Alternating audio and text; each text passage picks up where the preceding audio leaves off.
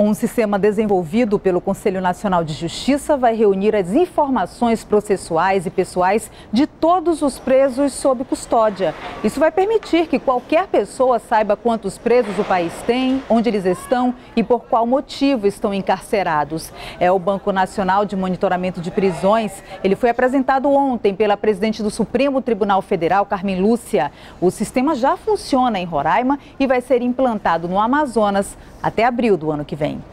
E começou hoje aqui na capital um mutirão do PROCON para renegociar dívidas bancárias.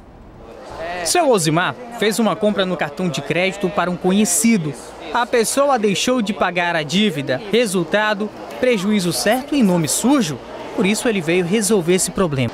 Que eu estou tentando arrumar esse dinheiro né, para mim conseguir pagar eles se eles aceitarem, né? Pelo menos a metade é o que eu vou tentar conseguir.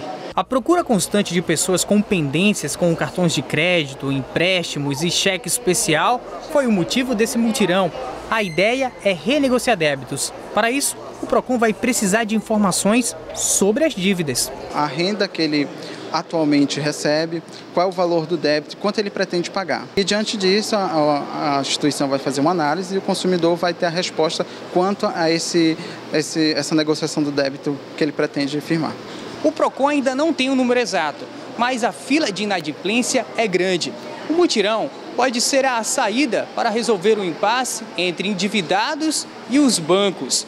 Mas cuidado, com um nome limpo na praça, isso pode ser um convite para fazer mais dívidas. O objetivo do PROCON não é instigar ainda mais o consumidor à procura de novos créditos que no, no decorrer vai virar débito. Então o consumidor ele tem que realmente pensar e repensar para verificar se de, se de plano ele necessita daquele serviço ou produto que ele pretende.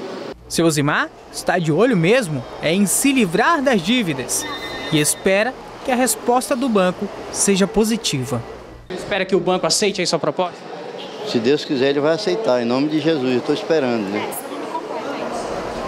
O mutirão vai até o dia 1 de dezembro. Os atendimentos são realizados na sede do PROCON Manaus, que fica na rua Afonso Pena, no centro da cidade. Lá funciona de segunda a sexta, das 8 da manhã até as 5 horas da tarde. A greve dos auditores fiscais da Receita Federal deve prejudicar o polo industrial de Manaus nesse fim de ano. A vistoria de contêineres é feita em ritmo lento. A mobilização dos auditores é para pedir a regulamentação definitiva do bônus eficiente e da progressão funcional.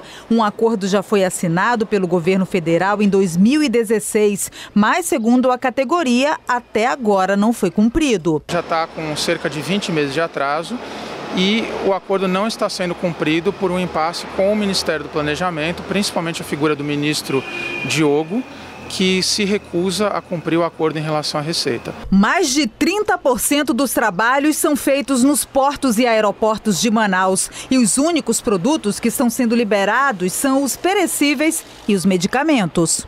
A vistoria dos contêineres até é feita, mas de uma forma bem lenta. Esse atraso se deve a um, a um pouco mais de rigor com que eles estão sendo feitos nesse momento.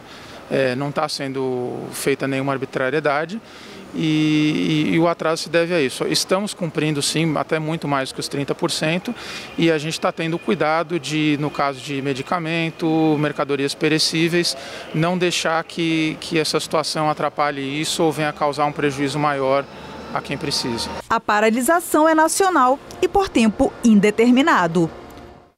Instantes, polícia procura homem que fez arrastão na Ponta Negra e baleou uma pessoa. E mais, Rio Negro volta a subir e a velocidade da cheia vai depender das chuvas. Nós voltamos já.